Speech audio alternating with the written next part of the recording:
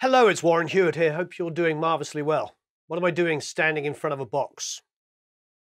A box. Okay, in here is a beautiful device made by a company called, well, I don't know how to pronounce this properly because it's German. Um, it's either Tegeler or Tegeler. In fact, it could be actually neither of those. All the German viewers will probably tell me I'm wrong. Anyway, I'm very excited to open it up. I got this a few weeks ago and we've been so slammed with doing videos, producing, engineering, mixing. I just mixed Rick Springfield's album, just finished working with Conrad Sewell. In fact, I'm still working with him. I'm working next week and just juggling the 10,000 things that we do. We don't always have the time to do beautiful things like this. So what is it? It's called a cream or a creme, depending on how you want to pronounce it. Oh, wow. Look what it comes in. That's pretty freaking awesome. Oh. All right, pulled out of the way. Magically pulled out of the way by the guy holding the camera. Eric Von Derrickson. Wow. Tasty. Uh, oh, I see. Well, they So why do I love this? Well, firstly, I love it because it's a work of art. You know, everything I've read about these just like is just insane. What a beautiful user manual. Right, so what is it? It's an EQ and a compressor. So what we're going to do is we're going to stick this on our master bus and we'll print a mix through it and then we'll solo things and print through it. So what I have is I have a beautiful SSL bus compressor and I have some amazing Pultec mastering EQs. They're EQs that you can click and save save the settings, hence mastering EQ. And I'm going to do, hmm, should I say a shootout? I'm going to hear the differences printing through just this or just the EQ and the compressor. Now bear in mind, this beautiful piece of equipment, which I'm about to get out,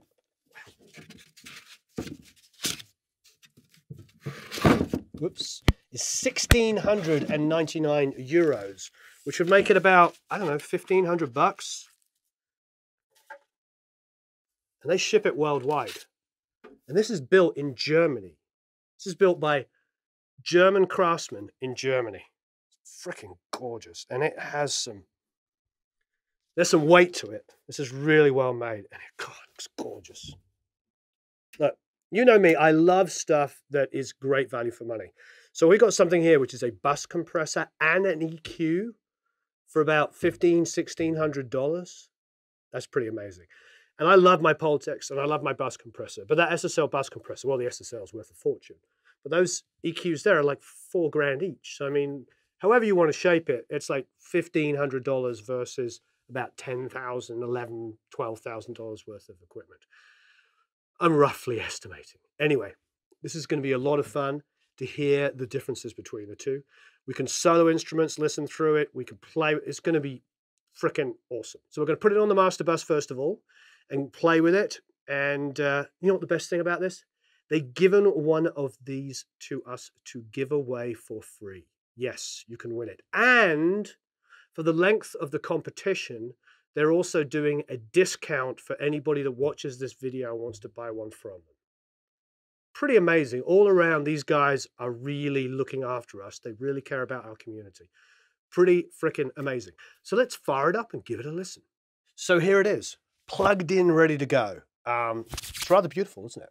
All right, from the left, top row, bypass.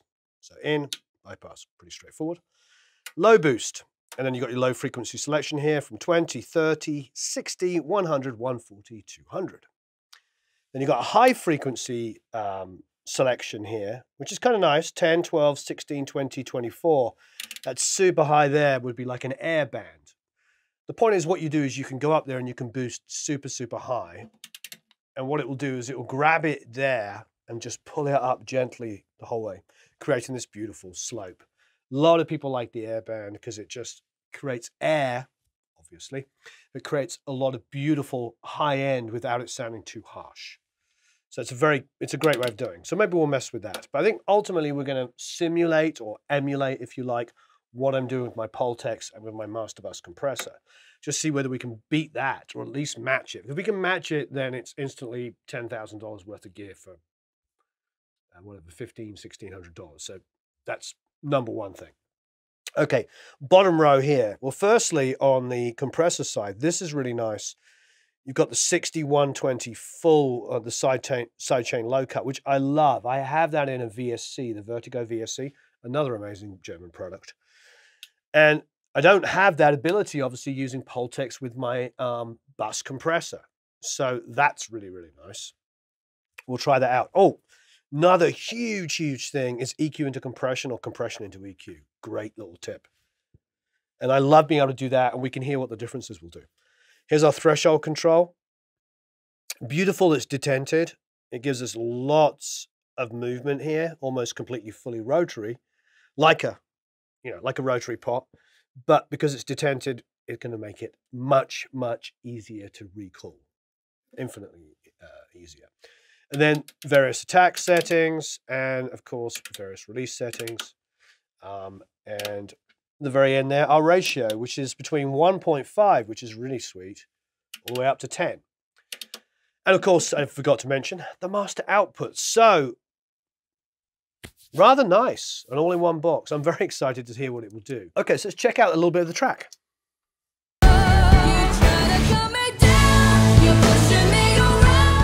It's a really, really dense track. You see there's a lot of schnizzle going on. That's live drums. Some samples.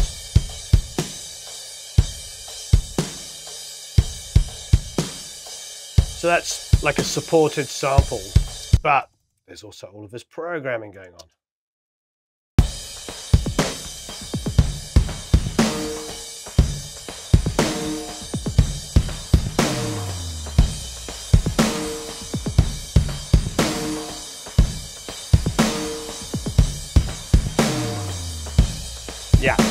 Lot of stuff going on. So it's quite, it's a really, really dense mix. That's just the drums. And there's not even like the explosions and the... I mean, I went nuts on this. The artist is uh, Caden Cashmere. She's very young. I think she was like 16 when we sang this. I wrote this with my friend Louiana James.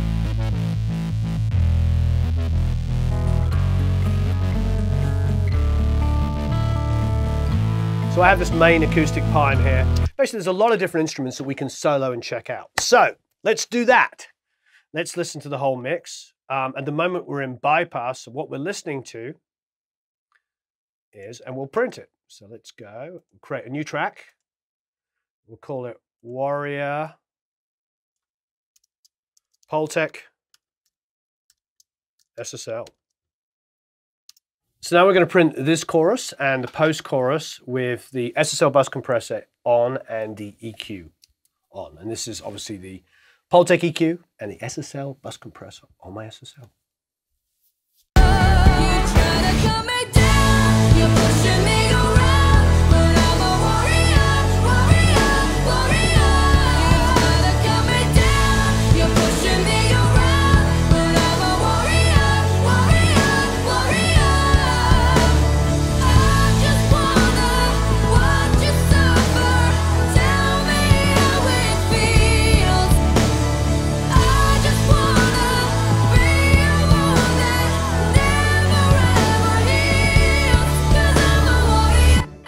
So that'll be our control. That's what we go back to. That sounds great. That's how the mix. I actually mixed it through that setting on the Pultec and that bus compression setting. So essentially, it's just pretty typical for me to leave those two things on. I may turn off the EQ and put them back on, but really it's just doing the boom and fizz. As it points out on the on their website, on their Tegeler website, or Tegeler website, who knows? Every German person knows, not me. Um, that's primarily what people use Pultecs for on a mastering. So what we do is we're going to emulate it. Now, if I look over here, you'll see that there's some 60, and I'm boosting, um, well, it's, it's boosted at about two out of 10, and this only goes up to five. So we'll go one. So one click. It's not a huge amount of boost. So we'll do something like that. Visually, we'll just do it and then we'll see how it sounds. And then the high frequency is actually at 12 and I'm boosting about two and a half. So we'll round up a bit. We'll go to, ah, we'll go to the two. So we'll probably have a little bit more high end. So that's the EQ. Maybe we can mess with that. Um, but that's the basic EQ setting. Now, as far as um, the compression, the release time, I believe, on my SSL is set to auto. It's pretty standard for me. And my release is set to oh, right the way over here on 30, which is also pretty standard for me. And my compression ratio, I'm sure, is at 4. I'll double check. But uh, yes, it is. All right, so that's ish. It's basically close to what we have. Now we're going to have to match the input and everything um, for threshold and the output, of course. So let me create a new track and we'll call it, uh, of course, uh, we'll call it the cream or the creme. I'm sure I'm getting every pronunciation wrong here. Okay, cool. So this this is essentially the same setup. But what I did is I went to, you know, I'll take it off that for a second.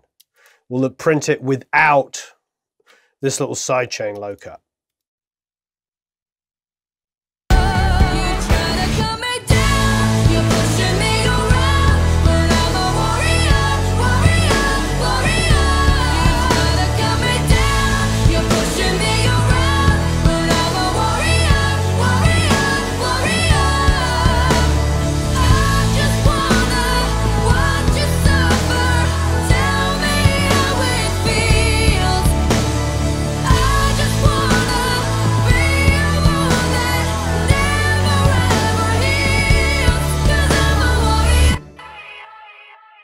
That better?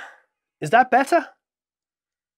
Hmm, interesting. Okay, I, I, think I can hear a little bit of the pumping. So let's go and put that side chain uh, low cuts that's on 60. See how that affects the low end and maybe makes the song just print a little sweeter.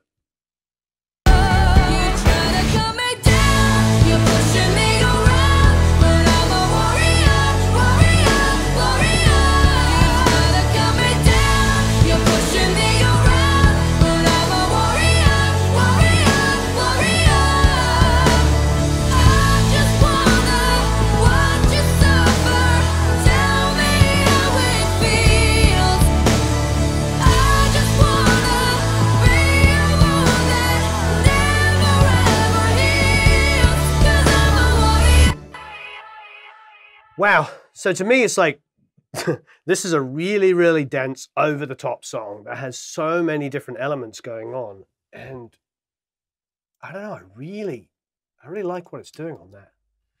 With a sidechain on, it's pretty darn tasty. I'm going to listen back to each of them. So going back to the SSL Pultec combination, which of course, now look, you can see there's a perceptible level output difference. So between that and the one without the sidechain and the one with the sidechain. Interesting enough, each one gets louder. So, but the dynamics, like the peaks, hmm, you know, are pretty similar. It's maybe it's slightly hotter. Okay, so maybe we, uh, maybe for we for schnitz and sniggles, um, gain this up a little bit, just so there's no argument. Let's come up. Let's make that 0.6.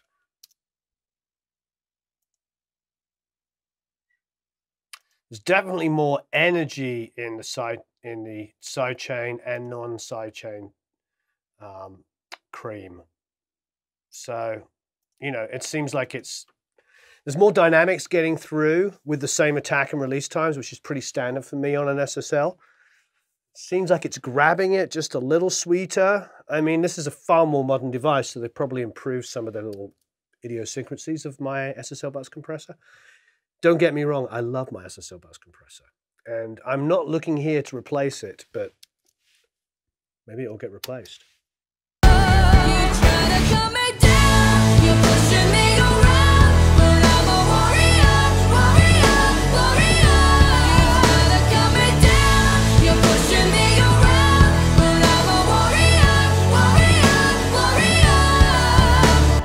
Sounds great. I mean, that is a fantastic sound. That's my Pultec and my SSL. Okay, so now we're going to go for the for the cream with no sidechain.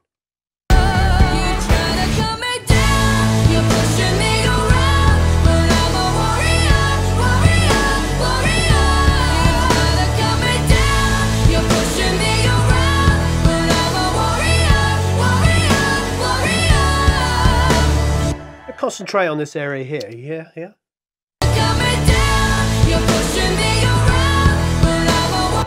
Just kind of ducks a little bit there. Let's see how it feels on this one.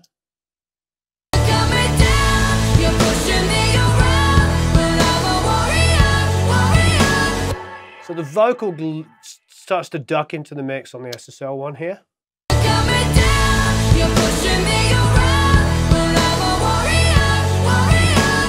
Tiny bit. Let's see how the cream does.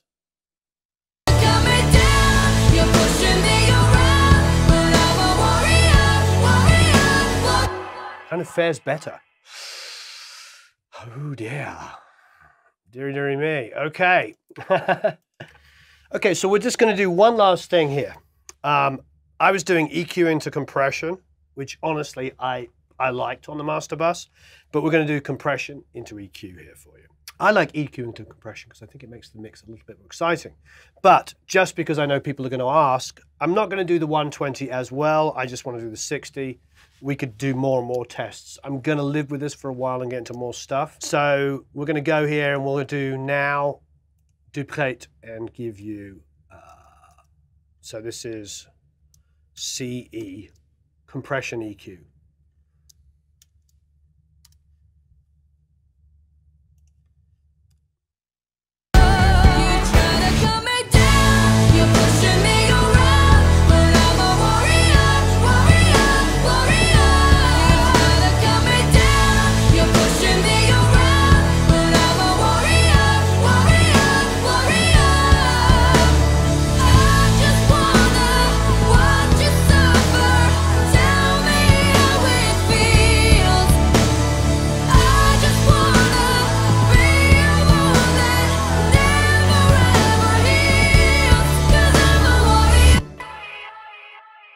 Sounds freaking awesome.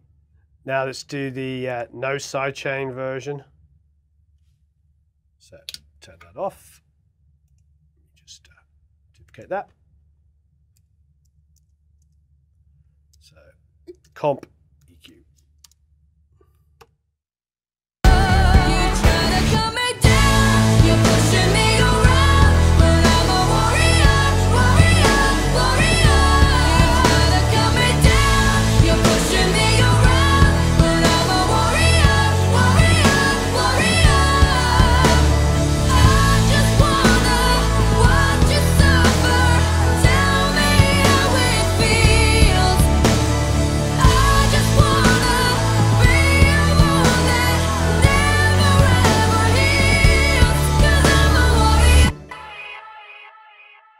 I mean, out freaking standing.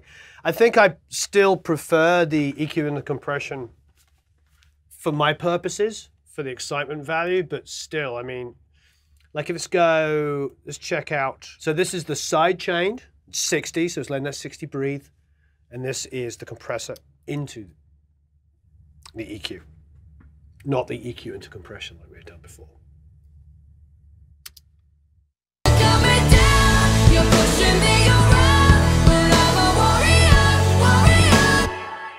Let's go back and check that same section with my Pultec SSL combination.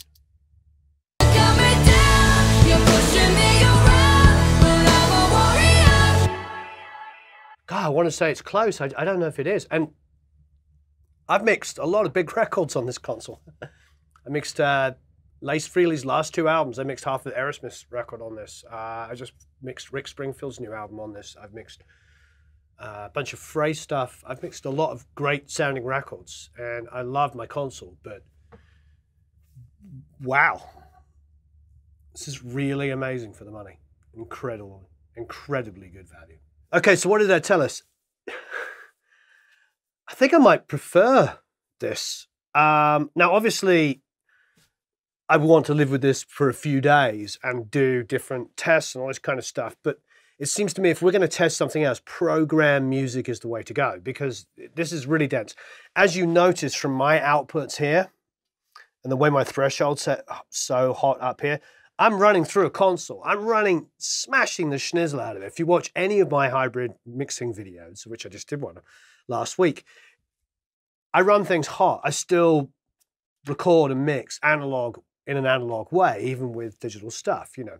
Lots of people who grew up on digital only will record little tiny DIs and then put virtual instruments on it, and that's that's cool. Um, I still come from that school that we talk about all the time, you know, that Chris Lord-Alge talks about and most guys talk about, where they say they're used to opening records on a console or just open up in a DAW and they sound like the album, as opposed to like everything's all the gains all over the place.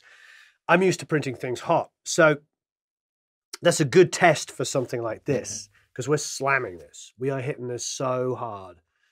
You know, look at it. The gain is on 1.5, the output.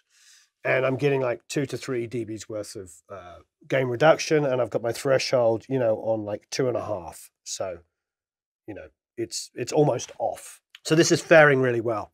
It is a fear of mine sometimes when we new, use new equipment, especially new bus compressors, that they don't have the headroom.